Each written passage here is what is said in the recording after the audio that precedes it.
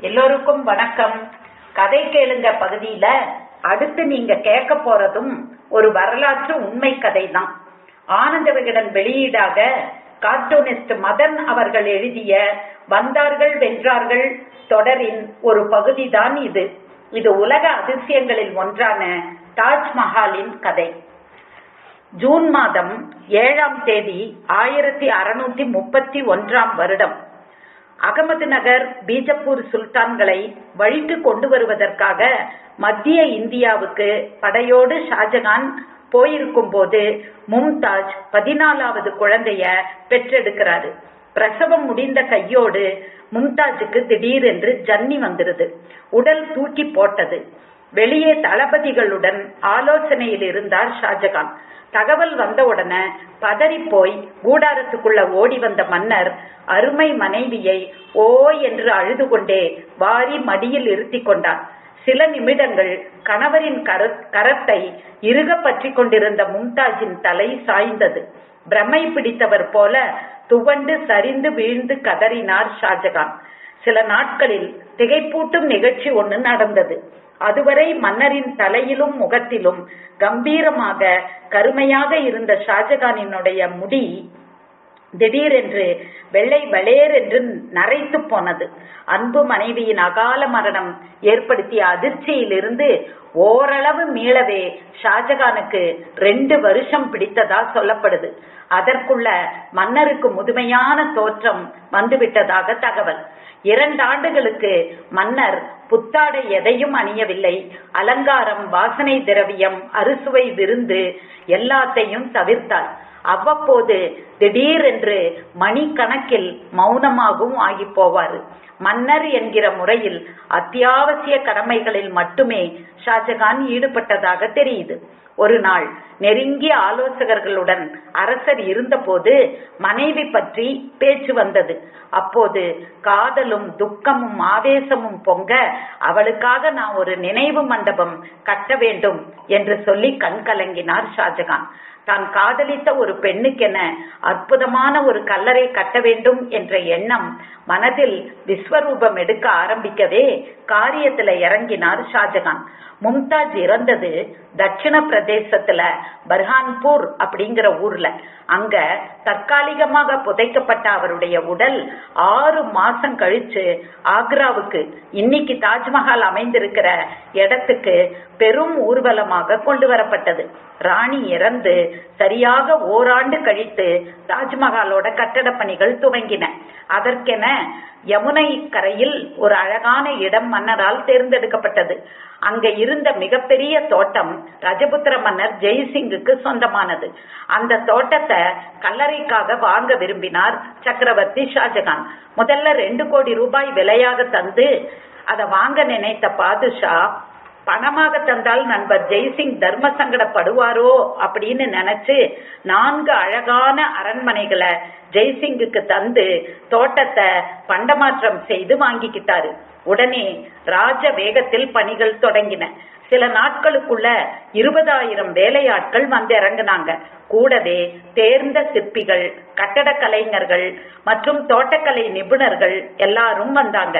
தாஜ்மஹாலுக்கு வரைபடம் தயாரித்து தந்தவர் யார்? வெனிஸ் நகர பொற்கொல்லர் மற்றும் சிற்பியான வெரோனியோ துருக்கிய கட்டடக்கலை கலைஞர் உஸ்தாத் இசா அஃபாண்டி லாகூரை சேர்ந்த உஸ்தாத் அகமத் என்று ஆளுக்கு ஆள் ஒரு பெயரை சொன்னாலும் தாஜ்மஹால் தனிப்பட்ட எந்த ஒருவராலும் கற்பனை செய்யப்படவில்லை என்பதே உண்மை.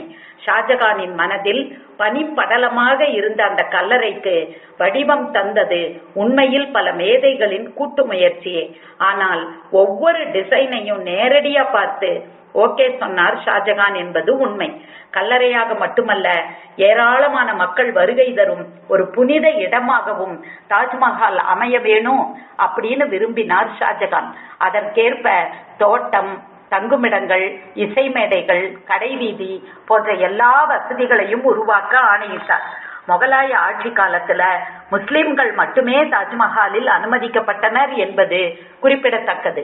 ஆயிரத்தி அறுநூத்தி முப்பத்தி ரெண்டில் வேலை துவங்கி தாஜ்மஹால் கட்டி முடிக்க இருபது ஆண்டுகள் பிடித்தன. வெளிப்புறத்தில் சிறு சிறு வேலைகள் ஆயிரத்தி அறுநூத்தி ஐம்பத்தி மூன்று வரை தொடர்ந்தது. வெளிப்புற வாயிலுக்குள் நுழைந்தவுடன் தொலைவில் தெரியும் தாஜ்மஹாலை பார்த்தால் இவ்வளவு சிறியதா என்று கேட்க தோன்றும். போக போக பெரிதாகிக் கொண்டே போய் மிக அருகில் சென்று அண்ணாந்து பார்த்தால் கூரை தெரியாத அளவு விஸ்வரூபம் எடுக்க வேண்டும் என்கிற ரீதியில் திட்டப்படி கட்டப்பட்டது. தாஜ்மஹால். தாஜ்மஹாலை சுற்றி நாற்பத்தி ரெண்டு மீட்டர் உயரத்துக்கு நிமிர்ந்து நிற்கும் நான்கு மினார்களையும் லேசாக வெளிப்புறமாக சாய்த்து கட்டினார்கள் கட்டிடக்கலை வல்லுநர்கள். அதாவது ஏதேனும் விபத்தில் அவை விழ நேர்ந்தாலும் தாஜ்மஹால் மீது விழாது. மஹாலின் வெளிப்புற கதவுகள் மீதும் சுவர்கள் மீதும் பதிக்க இந்தியாவை தவிர ரஷ்யா திபெத் பாரசீகம் என்று பல நாடுகளிலிருந்து வைரம் வைடூரியம் நீலம் கோமேதகம் முத்து பவளம் என்று வரவழைத்து ஒன்று விடாமல் பயன்படுத்தினாங்க. பிற்பாடு ஆங்கிலேயர் ஆட்சியில் அதிகாரிகள் அவற்றை சுரண்டி எடுத்து சூறையாடியது வேறு விஷயம். கல்லறையை சுற்றிலும் சுவர்களில் புனித குரானிலிருந்து தேர்ந்தெடுத்த பகுதிகளை எழுத்தோவியமாக செதுக்குவதில் உலகிலேயே திறமை வாய்ந்தவரை அழைத்து வாருங்கள் என்று ஷாஜகான் ஆணையிட பாரசீகத்திலிருந்து அமானாத் கான் என்ற கலைஞரின் பெயர் சிபாரிசு செய்யப்பட்டது அந்த மேதையோ நான் எங்கு எதில் என் கலைத்திறனை காட்டினாலும் கீழே என் கையெழுத்தை செதுக்கி போட்டுக் கொள்வது வழக்கம். அதற்கு அனுமதித்தால் தான் வர முடியும் என்று பதில் அனுப்பினார். ஷாஜகானும் அதுக்கு ஒப்புத்துக்கிட்டாரு. இன்றைக்கும் தாஜ்மஹால்ல செதுக்கப்பட்டிருக்கிற ஒரே கையெழுத்து அந்த கலைஞருடையதுதான். தாஜ்மஹால் பற்றி ஷாஜகான் சுருக்கமாக எழுதி வைத்த குறிப்பு என்ன தெரியுமா? இந்த கலரையை கற்பனை செய்தவர் எப்படி பூமியில் பிறந்தவராக இருக்க முடியும்? சொர்க்கத்திலிருந்து வந்து சேர்ந்தது இதற்கான வரைபடம் என்பதற்கு சாட்சியம் தேவையா? அற்புதமான தெய்வீகமான இந்த கல்லறை பிற்பாடு வந்த சில பிரிட்டிஷ் ஆட்சியாளர்களுக்கு பொறாமையை தந்தது. லார்டு வில்லியம் பென்டிங் என்பவர் தாஜ்மஹாலை இடித்து விடலாம் என்று யோசனை சொன்னாரு. இதை கேட்ட மற்ற ஆங்கிலேய பிரபுக்களே திகைத்து போனாங்க. பிறகு ஒவ்வொரு கல்லாக அகற்றி கப்பலில் ஏற்றி இங்கிலாந்துக்கு அனுப்பலாம்.